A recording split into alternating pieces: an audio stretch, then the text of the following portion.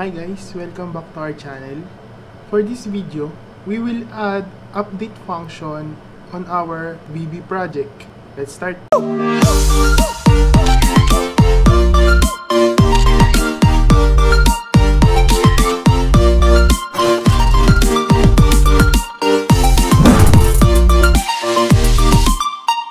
Kung hindi nyo pa napanood yung previous videos, ipa-flash ko na lang sa screen yung two videos na ginawa ko before. Which is si database connection, insert function, and si select command or select function. Kung mapapansin, last time, ang ginawa natin is naglagay tayo ng data grid view. Ngayon, para magawa natin yung update, kailangan muna natin ibalik yung record dito sa mga controls na to, sa text boxes, sa radio button, using yung data grid view. So, ang gagawin natin, pag niran natin yung program, yan, pag dinouble click natin yung record na nasa data grid view, dapat lalabas na siya or babalik na siya dun sa mga components na ginawa natin last time. So, para magawa natin yon kailangan natin lagyan ng function itong si data grid view. So, una, double click natin si data grid view. Then, lalabas yung method niya or yung function niya, which is si private sub data grid view 1 underscore cell content click. Now, ang gusto nating gawin or ang gagawin dapat natin is pag dinouble click yung item or record sa data grid view, tsaka lang siya lalabas. Which means, papalitan natin yung property nung data grid view natin. So, para mabago yan, eto, itong drop down na to, drop down menu, click nyo lang yan, then hanapin natin si double click. Double click, ayan, double click. So, pagka-click nyo ng double click, kung mapapansin, may bagong function na lumabas. Which is si data grid view 1 underscore double click. So, yan yung gagamitin natin para makuha natin yung record pabalik or malagay natin pabalik yung record dun sa controls na meron tayo. So, di-delete na natin yung cell content click. So, ang next thing na gagawin natin is uh, kukunin na natin yung object or yung records na nasa data grid view. So, txt name dot text is equals data grid view 1 dot item open and close parenthesis. Sa loob nun ilalagay natin kung ano yung column name na nakalagay sa data grid view. Kung babalik tayo doon sa running program ang pangalan ng column sa full name is CF name. Or pag nilagay natin sa data grid view 1 dot item f name yung ilalagay natin. Comma, data grid u1 dot current row dot index. Yan. Then, sa labas ng open and close parenthesis, lalagay tayo ng dot value. So, ang mangyayari dyan, kapag dinouble click mo yung record na nasa data grid view, lalabas ngayon yung pangalan ng dinouble click mo sa data grid view papunta dun sa txtname.text. So, itry natin. Tara natin si program, connected. Then, try natin i-double click yung pangalan ko. Ayan, lumalabas na siya. So, ganun lang kadali kung paano mag-fetch or maglabas ng record from data grid view papunta doon sa text box mo or sa control mo. So, try naman natin uh, sa text box ni age, palabasin yung record. So, txtH.text equals and data grid view 1 dot item age comma data grid view 1 dot current row dot index and that value so pag tinry ulit natin yung program pag niran natin siya pati si age lalabas na rin or ma-fetch na rin at magdi-display na dun sa text box. Yan. Next is, try naman natin yung kay radio button. Radio button, birthday, which is date time picker, tsaka uh, combo box. So, kung paano yung ginawa natin before, kay radio button na gumamit tayo ng if-else, i-apply pa rin natin yan. So, ang gagawin natin, declare ako ng variable, beamgen as string. Now, ang gagawin natin, si Jen yung maghahawak nung nakuhang value sa data grid view. Then, after nun, gagawa natin siya ng condition na kapag male yung lumabas, yung rad male yung mag-check. Pag female naman yung value na lumabas or nakuha, rad female naman yung mag-check. So, dim gen as string, gen equals, ayan, data grid view, 1, dot item. Tapos, gender. Data grid view 1 dot current row So, i-apply lang ulit natin yan, yung current row dot index dot value. Yan, nalagay na natin sa variable na gen yung magiging value kapag dinouble click. So, ang next na gagawin natin, lalagay tayo ng if else. If gen is equals to mail, then radmail dot check equals true. Else if gen equals female then rad female dot check equals to true. So try natin. Pag in-execute yung program, connected, then pag dinouble click na natin yung record, yung male na record dapat naka-check sa radio button is si male. So pag yung gender sa data grid view is female, dapat female yung mag-check. Ayan. Male and female. Next, try naman natin yung uh, date time picker na ginawa natin. So dtbday dot value equals data grid view1 dot item bday data grid view1 dot current row dot index dot value So, try ulit natin. So, kung ano yung birthday na naka-specify dun sa record, yun na yung, mag, yun na yung lalabas dito sa date time picker natin. Example. Ayan. Birthday ko is, ayan, nakalagay. Birthday nung isang record, nagbabago. Then, yung last record, ayan, nagbabago siya. Then, yung last is the program or sa course cmb program.text equals, so ganun ulit, data grid view 1 dot item.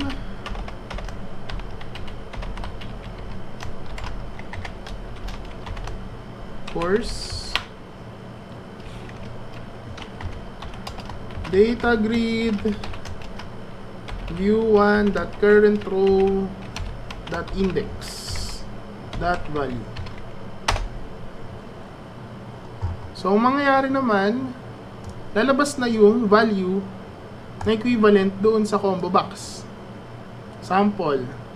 So, first record, ang course niya is BSIT. So, pagka dinoble click ko yung unang record, ayan, mag-change na siya into BSIT. Same with those other records na meron. Ang next na gagawin natin is lalagyan na natin pati si txtid. So, txtid dot text equals data grid view 1 dot item so id comma, data grid, view 1, dot current row, dot index, dot value. So, pag nira natin si program, pati yung ID, pag dinouble click, yan, lalabas na siya. Pwede mong i-double click at the same time, dun sa previous na ginawa nating data bindings, pwede mo rin siyang i-apply. So, dalawa. Pwede kang mag-search or pwede mong palabasin yung record sa mga controls using yung data bindings. At the same time, pwede mo rin i-double click yung record sa data grid view. So, na-fetch na natin yung record or nababalik na natin yung record from data grid view to those controls. Ang next na gagawin natin is mag-a-add tayo ng panibagong button.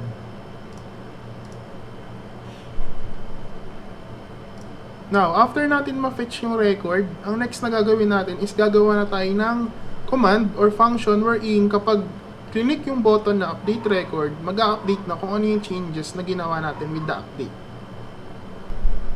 So, double click natin yung button na update record.